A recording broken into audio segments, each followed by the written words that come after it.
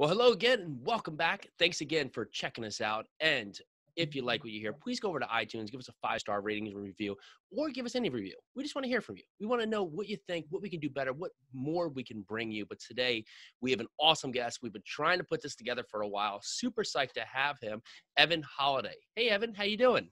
Great, Jason. Thank you so much for having me. Excited. Well, very excited to have you. And so, Evan is the founder and host of Monumental, and it's a top rated podcast where he interviews leaders, entrepreneurs, and visionaries making massive change in the world. And Evan, he was based in Louisville, made the move down to Nashville. They're handling building quality communities and empowering residents through an affordable workforce, uh, workforce housing development, which is basically making up 80% of his operation. So, Evan, that's the short recap in. Tell us about you. Tell us what you've been working on. And tell us what you're currently working on. Yes. So a little background. So I I like to tell everybody it, it kind of got started. Uh, the addiction to real estate got started in college. Uh, I went to University of Louisville, and in college I was going the pre med route, and I was like, you know what, this this whole pre med, like the the science, the chemistry, it's really just not doing it for me. And that's when I I saw this development going in on campus and it was like $55 million development just been announced. I was like, man, like, what do I need to do to be a part of that?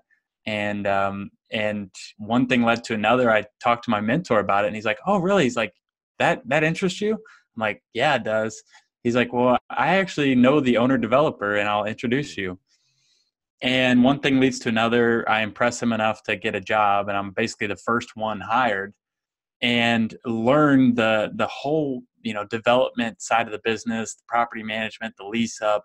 There were retail tenants. There was you know new market tax credits. Um, it, it was just a very complex deal. And here I was, like 19 years old, like trying to just soak it all in and be a part of it, and and um, learned a lot in that deal. Learned what not to do as well. Um, and then myself and four others in college, we were part of a, an entrepreneurship class, and part of the class was to start a company. And so we're like, well, what can we do? And and of course, I'm like in love with real estate now, and I'm like, well, let's start a real estate company. And so we decided to start a modular development company. Uh, so we were actually basically building uh, components of a house and then eventually multifamily housing in a warehouse that was actually set up to build for um, for houseboats. So Kentucky has all these warehouses that build um, these manufacturing plants that build houseboats. They laid off 1,100 skilled workers. So we're like, how do we put those people back to work?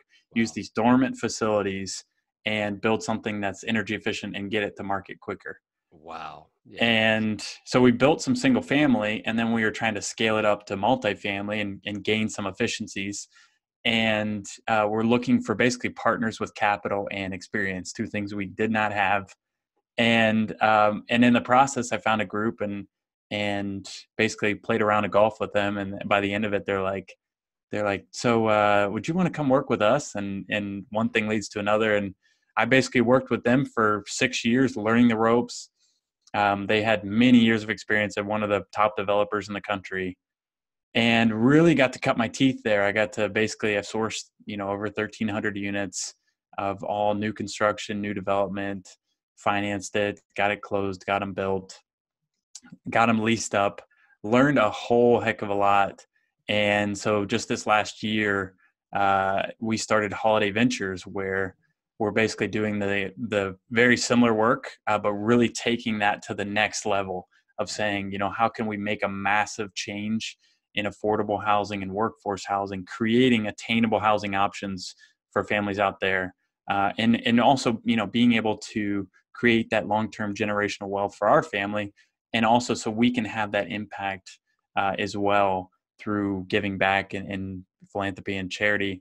But it, it's really it's been a blast um, being able to work with cities work with communities um, a lot of creative financing a lot of a lot of brain damage too because it, it's just you're dealing with this very um, nuanced government financing um, and a lot of people don't understand it. They think when they hear affordable they hear you know the ghetto or the projects and mm-hmm. and unfortunately that's not at all what we build we build like class a quality stuff uh, we just don't have to put a ridiculous price tag on the rent so um, in a nutshell that's that's pretty much it and we have the like we talked about the podcast uh, which we've been going strong for about two years now, and then also do uh, help people with coaching as well. I love that. So I definitely want to dive into the affordable housing and break it down. Give us all the dummies approach of how we can understand that. But before we, I love that, it. Have, have you always grown up entrepreneurial? Because I mean, you're still very young, and there's a lot of young listeners here that are saying, "Man, at 19, he's got a mentor. He's out there taking action." It, one, talk to us about that because most people don't don't find that until you know late 20s, 30s, 40s, even just saying, "Well, I need a mentor." How did how did you know that you needed that? And and maybe some tips like what what makes a good mentor where you can bring value to that person and mm-hmm. possibly have them on your team? Yeah that that's a great question i think honestly it starts with those around you that are already like in that case the mentor in college like he was already putting himself out there within our fraternity of saying hey i want to help you guys and so i was one of a few very few guys that actually took him up on it you know it's so i guess one of the first things is in that certain situation a lot of this could apply to listeners where it's like hey there's there's already individuals around you that are willing to to give you their time. You just have to be open or, or have open eyes to be able to accept it when it comes your way and take take full advantage of those situations. Like i took him to lunch multiple times mm-hmm. because he was willing and able and wanting to help. So i was like well i'm i'm going to take full advantage of that. I want to know you know what what brings success? What what has been successful in his life? What has he learned not to do? You know i and you know I, I was very fortunate for that because it it built a foundation of learning what I could do to set myself up, how to reach out to people, how to make connections, um, and I, and I think it just comes from finding people that are willing to help you, and then also being able to figure out some way you know it didn't necessarily happen that way with this relationship but find a way where you can add value to that person hmm. um, is is key. Yeah that's amazing right? And the, the key part you put on there is that if you keep your ears open it's all around you. Everybody's around you. There's so many people out there that are willing to help but you need to take action. You need to take those steps to get there. And what are some of the mental hurdles that you've been able to overcome that you see in a lot of other people that keep them from taking action because eh, sometimes the steps are so simple, yet everybody's saying, "Ah, hold on, there must be something to this." Yeah, I would say, and I've been guilty of this myself, and I've I've worked on this. Um, I would say analysis paralysis. Like it's just you you overthink things. You think you have to have everything perfect, uh, and I I've had that happen to myself. But but I've realized when I'm when I am most successful, it's when I take massive action right out of the gate you know it, it's good to have a plan in place but you don't need to have a perfect plan. You know it's the whole adage of you know a, a good plan is a plan executed. A perfect plan executed two weeks later really doesn't mean anything. Um, and and i think that is so true where if you're just taking action and telling yourself hey i don't need to know everything. I don't need to know every step. I'm actually going to learn just the next step in front of me and we were actually just having a conversation about this before uh, where it's it's literally about you know thinking about if you're going to drive on a back road a foggy back road mm-hmm. think about don't don't think about the whole road think about just the next eight feet. That's all you can really see because of the fog. So think about the next eight feet. What are you going to do next? Not think about the whole process yeah, it's great. It's like that uh, movie uh, Catch Me If You Can with Leonardo DiCaprio, where they, they ask him, you know, like in real life, he's like he teaches like at like a like something beyond complicated, like a chemistry class, when he has never had any course in chemistry. And they're like, well, well, how did you teach this um, high level college chemistry course? He's like, well, I just read one chapter ahead each time and just read it back to the students. They're like, oh. it just yeah. sometimes we we outthink ourselves that we have to know everything, and by that time, you never know anything, right? Like riding a bike, starting out there. So yeah, and I love it. You've taken so much action for the affordable housing space.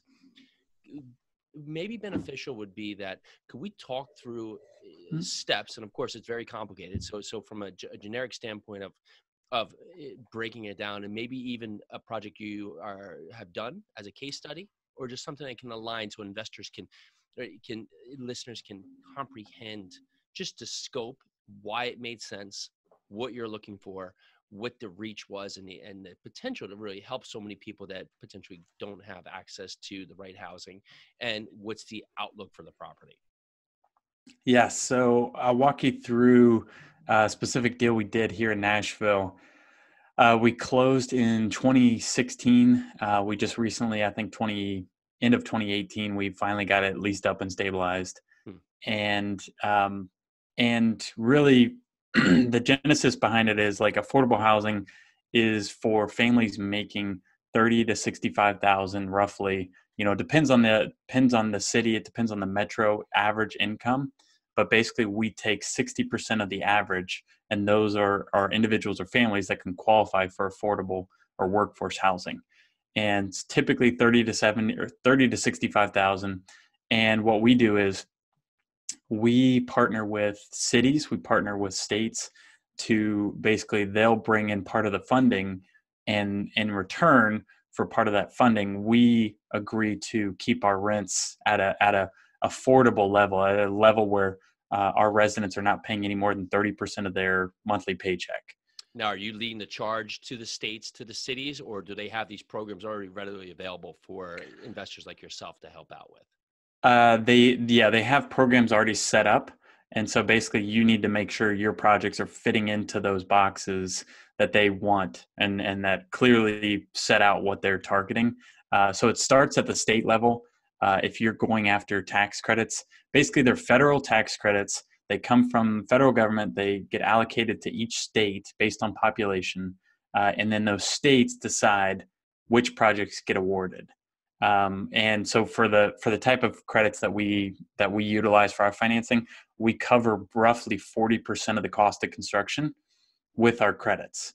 And so that that's what helps us pay for 40% we have a loan for 50% and we find a grant or tax abatements or other funding for the other 10% okay. um, so of that 40% we basically are awarded the credits and then we actually turn around and sell those credits to an investor typically a bank or insurance or, or large institution and and then they get a dollar for dollar write off on their taxes with that credit Got and it. so that that's their incentive to to invest in this and they're actually looking for depreciation losses and the tax credits. So really it's almost like a, a, a tax deferral investment or a tax write-off investment. Like they're looking at ways to lower their tax liability with this investment so um, someone who's looking into this, and I'll just ask a couple specific steps. So if someone is saying this sounds like something that could be super beneficial to a lot of people in need of great housing, how would they search something in this magnitude? Would you literally just go on the county website and search in uh, tax credits? Would that be as simple as that, starting the project? Yeah, anybody getting started, I would say, uh, first off, I would say find find a mentor, find somebody that's willing to teach you um, because of it, and especially because this is so complicated. It's so niche within multifamily, within real estate, commercial real estate investing, um, and, and there's a lot of rules. There's a lot of regulations, and it varies state by state as well. Um, so, like I, you know, I could give you good guidance, but I wouldn't tell you exactly what to do in California because I've never done anything there. Which is really interesting that it's so state specific Sure. But yes, I would I would start out by looking, googling tax credits per state. Uh, there's usually a state housing uh, authority or or agency, and they're the ones that that basically set the rules. There's there's a what you call a qualified allocation plan per state. Uh, each one has a QAP, is what they call it, and that's basically the rule book and the the scoring guideline, more or less, uh, for that year. And they change it every year and that's how you can basically go forward and uh, request based on a project tax credits and so you put together an application and you want to want be one of you know the top scorers for that uh, for that funding round and they yeah. typically do rfps where they put out a request for proposals and then you submit your project um, so there, there's a little bit of risk on the front end but you can spend very little and still be able to to put in an application for a project and honestly there is um, there is an ability to basically get credits on a project without much experience at all. Uh, it helps if you have a mentor or you're aligned with somebody that has experience. Sometimes the states give out points specifically for experience so you need to have somebody on your team but um, but yeah there's there's groups out there that will get started with a small project get awarded credits sell the credits build the project just like any other project and and be able to to parlay that into the next project. Interesting. Now, what makes a market a viable candidate to be able to go through on such a course of action? Yeah, the the biggest thing is uh, job growth. uh, you know, growth of the economy. It's it's the same thing we're looking at. Uh, you you know, market rate investors are looking at. It's Hmm. very similar. Um, the only added component I would say, or, or two components I would add in, is that we're looking for cities that are uh, being proactive about investing in affordable housing. So we're looking for cities that are maybe setting up funding or making, you know, making permitting easier or expedited for affordable housing or saying like the like the mayor or the city council is saying, "Hey, like raising their hand and saying, "Hey, we need affordable housing. It's a problem, it's a crisis. Like we are going to do whatever we can to make it easier for affordable developers to come to our city because it's becoming a prevalent need like all across the country Sure. and so so that makes for us we're like well you know this is a great problem to have or, or our pri- our developments are high in demand right now but also we're like well let's let's try to spend our time where we're most wanted Yeah. because that makes our life a lot easier these you know these projects are already super complex and, and hard to get done so if you have a, a politician basically putting a wall up then that just makes it a hundred times harder uh, because they do hold a lot of power as far as uh, entitlements, permitting, zoning, even financing. So without their support, it's really it's like trying to you know push a rock uphill. It's just not going to happen Yeah. without and- their support. That's a huge golden nugget, right? And this can go to any any form of real estate. If there's an area that's aligned for wanting this to happen, well, yeah, that's definitely viable. And it's a factor you need to take place. I mean, if all the metric standpoints stand out, you know, population growth, job growth, job diversity, large MSA, but the city is fighting you tooth and nail and say it's like Airbnb, right, or something of that. Yeah. magnitude. Well, it's probably not going to be the right choice, even though the metrics are numbers. So you always want to add in that part. What is the government um, infrastructure, and how is it aligned with what I'm trying to do here? So Yeah. the project you started in 2016. That project, uh, ground up construction, or, or Yep. Yeah. So ground up new construction, uh, 240 units on 13.7 acres. Uh, and we, I think we bought the land for 1.35 million. Uh, so just under, you know, a hundred thousand an acre, which at the time wasn't bad, but it was crazy. By the by the time, so we buy the land here. You know, we buy the land a year or two before we're actually ready to close. We we could not get everything aligned, and these deals take a while to get every agency on board, the tax credits, the city. And so we had to unfortunately buy the land ahead of time. We don't like to do that, um, but we knew this project would get closed. Um, but yes, by the end of it, there we were actually getting offers for the land for double what we had paid for it, uh, Wow. because Nashville is just crazy right now, and lots of lots of people moving here. Um, but we decided to go forward with the project.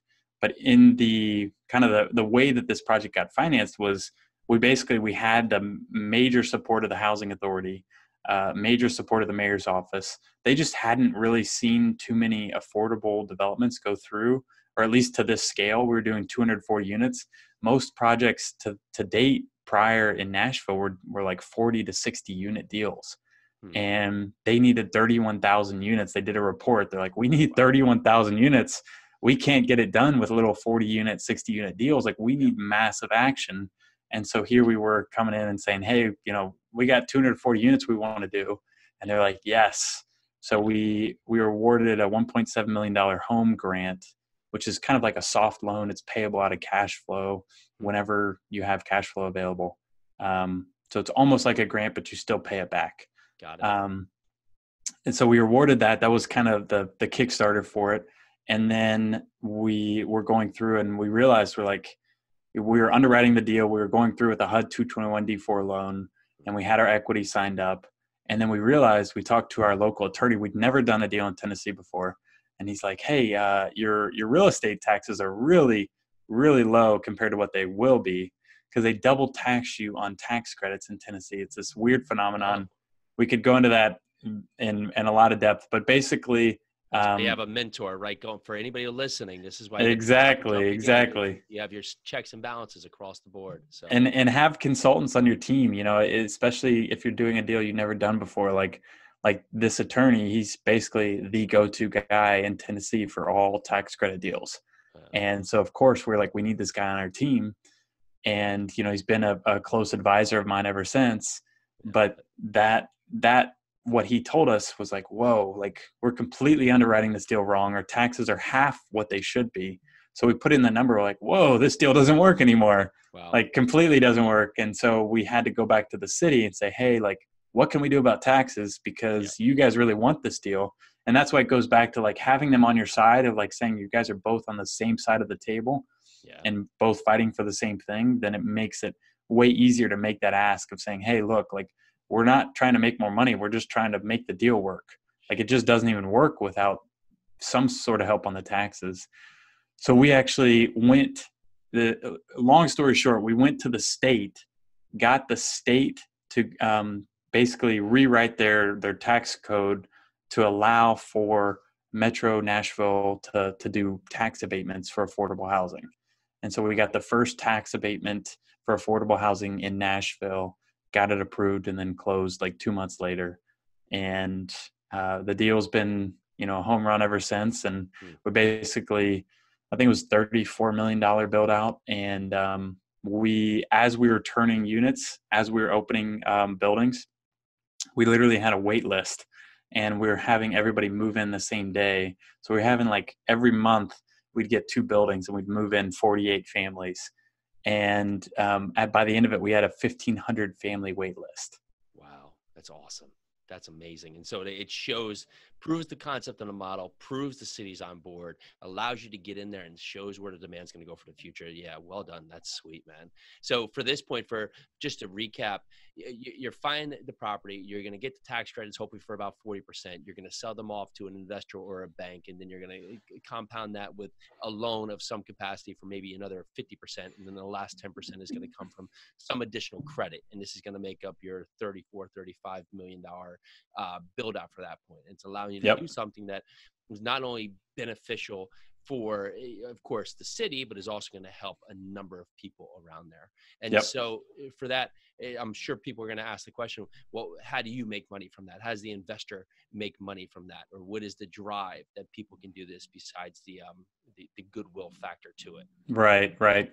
Um, so really the incentive for uh, for profit developers to get into this is really based around like they you can collect a 15% developer fee so same as you know an acquisition fee on a value add syndication deal um, you know it's it's significant. Um, and you're typically you're not actually collecting that full fee. You're going to defer part of that and that's technically part of your equity in the deal. So it's almost like the only equity that you need to have in the deal after you close is a fee that is uh, like a future fee, right? Like, so we'll typically defer, you know, 50% or so of our fee. Um, so we'll, in the paid out portion is paid from closing through stabilization. And then uh, the deferred fee is basically paid out of cash flow. Interesting. So, so that's the incentive. And then the other incentive is uh, we, our investors, like I'd mentioned before, they're, they're only incentivized by the losses and depreciation. Um, so we actually get 90% of the cash flow. Uh, they don't want the cash flow. They'd prefer to have only losses. So we get all the cash flow and we get the 15% developer fee. Very interesting. Great model. Very well and entertaining about the way you've put this together. And just it just shows there's so many ways that you can help out there. And something that I can win on our formats is just it's a great resource. So for, for investors listening, super complicated model, right? But if you have the right team on board yeah. and you do the steps that Evan did, you can break it down and everything that seems complicated on the surface became I won't call it routine because going and, and resetting laws in the state are probably not routine, but in that fact, it becomes real because you have actual steps to it. So I don't want to let you go before we, we talk about your podcast. You've had a, a really awesome time getting your podcast going, having great guests, talking to just dynamic people, and uh, for building a brand or, or, or reaching out and just building out a model for yourself. What can a podcast do, and what has a podcast done for yourself? Yeah, yeah, I love talking about this because I tell everybody I'm like, if you don't have a podcast or or a platform, you know, to speak on, then start one today. You know, if you're listening right now, like start a podcast, start a platform, just make YouTube videos or or make a video on Instagram, whatever it is. Yeah. Um, it doesn't have to be complex, but it really for me, like monumental. We've been doing it for two years. over 100 episodes and and just in two years uh, the amount of people i've been able to meet um, the guests we've been able to meet um, the conferences we've been invited to you know the the connections we've been able to make the people we've been able to impact from the podcast um, we've also gotten i've gotten a deal out of it um, a, a, very large deal we're working on right now a new construction deal uh, the partner actually reached out to me because they they heard a podcast episode mm-hmm. and they're like hey this guy would be great for you know the affordable housing portion of this development. It's like interesting things like that just come out of nowhere and, and you can't plan on that but it, it's it's a tremendous roi it's just amazing and it also gives me an excuse to talk to people that maybe i wouldn't have an opportunity opportunity to otherwise. I mean the amount of people i get to to talk to on a you know uh, on the podcast is is phenomenal. I mean, we've had on like David Meltzer, Elena Cardone, um, a, a, lot of other top names, and we're gonna have a lot more this year too. And, and it's basically just a lot of that comes from um, Instagram DMs. Awesome. So I highly recommend. I basically learned that from um, a 20 year old who's crushing it on podcasts. His name's Casey Adams, and um, he just said he's like all I did was DM people. I was like, I need to really double down on my DMing, yeah. and it worked. I mean, it's just a numbers game. If you if you reach out to enough people, um, then then it's bound to come back. So it's been highly fruitful. I recommend it to everyone. I love that, and it's great. And so, if you're scared to start it, eh, here's here's the honest truth: you're not going to be great when you start. No one's Walter Cronkite when they start literally the podcast, right? It, but you have to get out there and do it, and give yourself a couple episodes. Don't just do one and said, "Oh, that was hard." Put out there five, and give yourself some context to do it. Evan's done a, a wonderful job. He just gave you a million reasons why you should do it. He even gave you the end. DM people on Instagram Literally, that right yeah. there is gold. But if you DM one person, they're not going to get back to you. That's just a numbers game, right? He's DM 100 people, and he's got some awesome guests come on the show. So you take action, you put put it out there, and Evan, it just well done. So I, I do want to make the point here that Evan has uh, it, it's bit.ly.com backslash Evan Bio. Is that correct? Yep. Right there, and that link will will lead uh, listeners to what? Uh, so I, I would send them to evanholladay.com uh, and then holladayventures.com if they're interested in investing. Awesome. And then, of course, Instagram. I'm very active there. Yeah, that's great. well, Evan, I'm glad we were able to put this together. Thank you so much for coming on the show. Super appreciate your time. Yes. Thank you, Jason. Awesome. Listeners, thank you guys. Thank you for being on with us. Love everything you're doing. Love everything you're bringing out for us and love all the attention that you've brought to our show. Thank you so much. great day.